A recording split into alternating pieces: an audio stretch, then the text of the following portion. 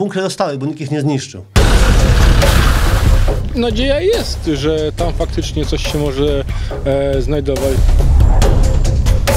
To było bardzo wszystko skrzętnie maskowane. You shoot them down here from the ground, from this battery here.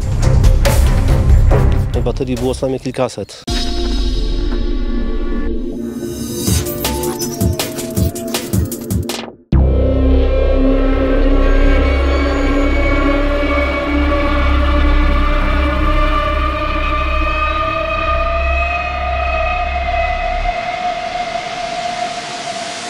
Na Pomorzu Zachodnim znajduje się jezioro Bartuszow. Według miejscowych legend został zatopiony tu pojazd pancerny.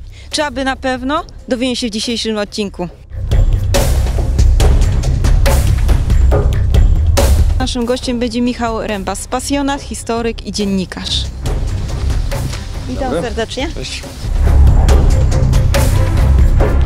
Kiedy mieszkańcy tych terenów y, poczuli, że nadchodzi już wojna? Pierwsze naloty już były w 1940 roku. Bombardowano znajdujące się raptem kilkanaście kilometrów stąd zakłady chemiczne w Policach.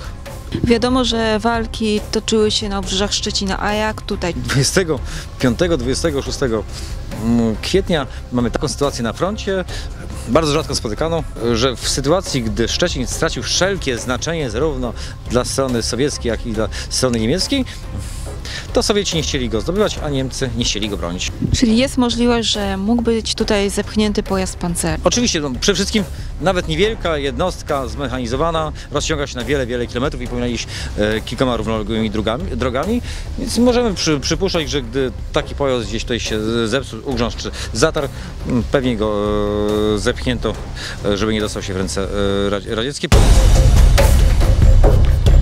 Okazuje się, że w okolicy Bartoszewa znajdują się pozostałości po baterii flag. Moimi gośćmi są Gordon Karczewski-May i Krzysztof Wasilewski. Hi, nice to meet you. Nice to meet you as well. Dzień dobry. Cześć, hej.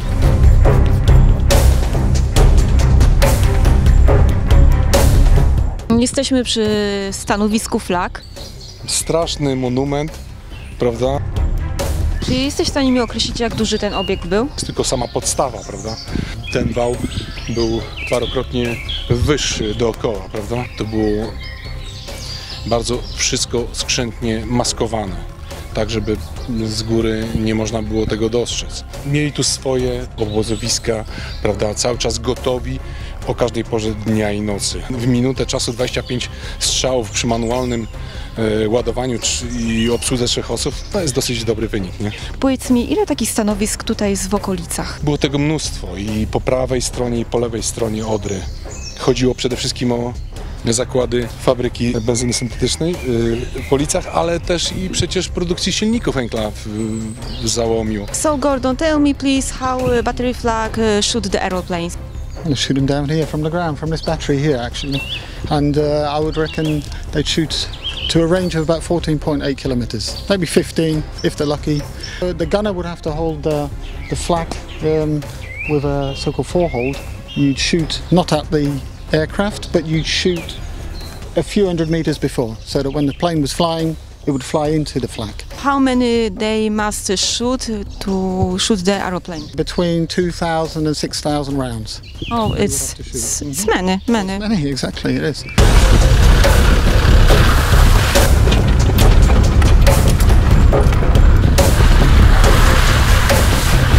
Moim gościem jest Jarek Hajdukiewicz, pasjonat historii. Dzień dobry, cześć.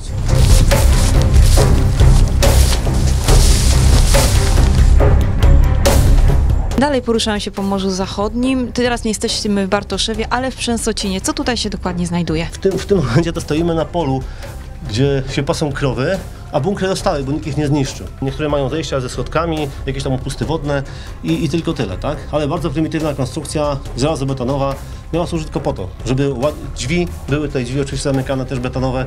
Chodzi o to, żeby odłamki bomb amerykańskich zrzucanych tutaj na, na ten teren nie doprowadziły do wybuchu amunicji. Między rokiem 1943 a 1945 potężne siły lotnicze zostały rzucone na Szczecin i Police między innymi, żeby po pierwsze zniszczyć port, a po drugie zmniejszyć produkcję e, tak zwanej Hydrowerke Polit, czyli fabryki benzyny syntetycznej, która w szczycie swoich możliwości, można powiedzieć w październiku 1944 roku produkowała 5000 ton paliwa dziennie. To są ilości niesamowite.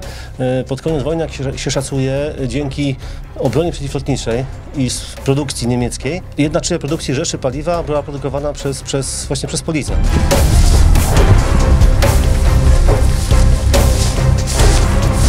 Przed nami przepiękny widok na Szczecin. Na takim wzgórzu, gdzie właśnie jesteśmy, to jest idealne miejsce na postawienie baterii przeciwlotniczych. I właśnie to jest ten przykład, że Niemcy postawili, no, są praktykami. Stojące tu baterie miały y, w swoim zasięgu całą tutaj Dolinę Odry, y, z perspektywą praktycznie aż tam daleko, no może akurat Stargardu nie widać, ale jakbyśmy przypatrzyli z lornetką, to będą, może byśmy zobaczyli. Od Nowego Wartna praktycznie po przedmieścia Szczecina, gdzie jesteśmy, baterii było co najmniej kilkaset. Co ciekawe, Niemcy stosowali już wtedy ustawianie armat na radary.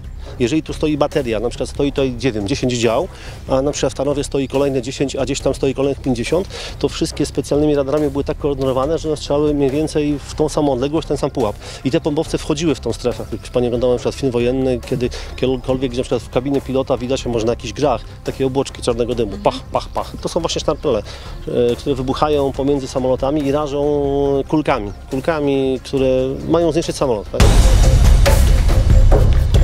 Co tutaj w ogóle się działo w czasie wojny? Przekaz y, na temat y, pojazdu, który został zepchnięty, został przekazany przez stryjenkę moich rodziców, y, Stefanie Modę, która była robotnicą przymusową no, na tych terenach w okresie wojennym. Ale jaki dokładnie to pojazd, że opancerzony no, na takiej zasadzie, jak ta kobieta mogła przekazać?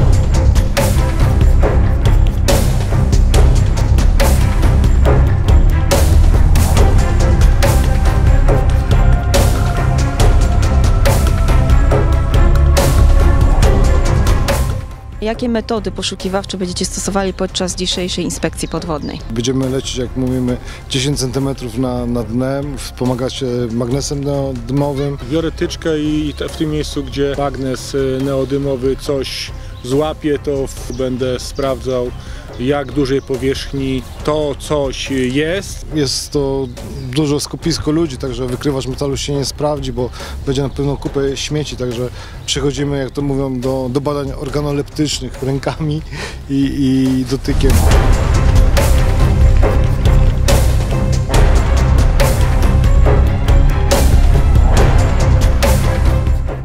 Przy pomocy na, naszego urządzenia tyczki, która miała, która miała 2 metry, no spenetrowałem to, co dało radę e, wbić, bo muł jest dosyć miękki i ta tyczka właściwie w całości wchodziła. Dno jest y, dużo, dużo głębiej, więc e, pojechaliśmy po nowy przyrząd.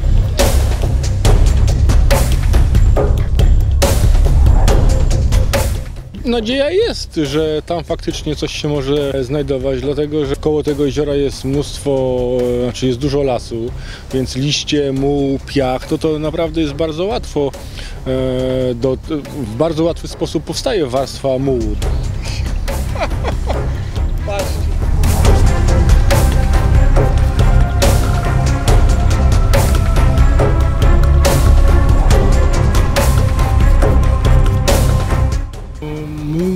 jest 5-6 metrów. W tych miejscach, gdzie byłem stosunkowo blisko od brzegu, to wchodziło powiedzmy 4 metry tego stalowego pręta e, bez problemu. Tak? E, Tego mułu naprawdę musi być dużo i e, w nim się może znajdować naprawdę wszystko. Począwszy od e, pojazdu, którego szukamy, poprzez w cudzysłowie nawet pociąg, bo, bo, bo no, przez te lata, co, e, e, które, które minęły, cała masa rzeczy, e, liści, piachu naleciała do tego zbiornika i pod spodem może być naprawdę wszystko.